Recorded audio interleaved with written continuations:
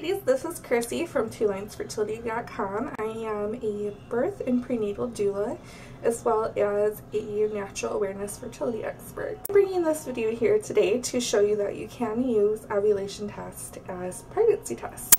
Now this isn't always recommended um, just because the results can be a little confusing. Um, you know, certain things can give you false results. Um, but I am currently four weeks pregnant and I have not done this yet. Just wanted to kind of do like a live test to see if you can actually use ovulation test as a pregnancy test. So as you can see, this is a unopened test. This is Clinical Guard, which is the brand that I always use.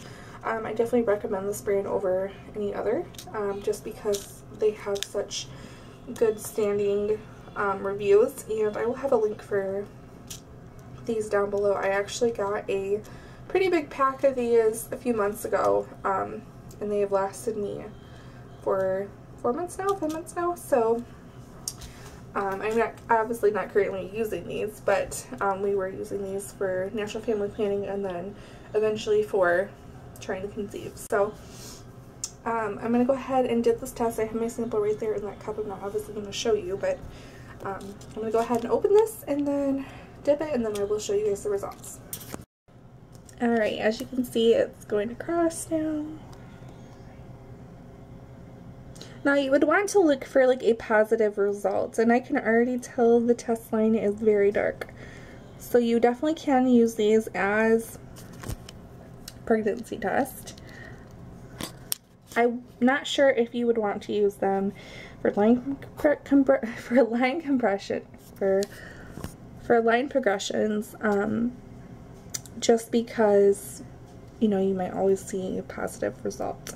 So you can definitely use these as pregnancy tests. Now, I don't recommend that, but if you are a pee on a stick addict like I am, then you can go ahead and use these. Um, I would suggest that you use these just um, after you have a positive result on an actual pregnancy test. Um, just because, like I said, you might have varying results. Um, but this is definitely positive.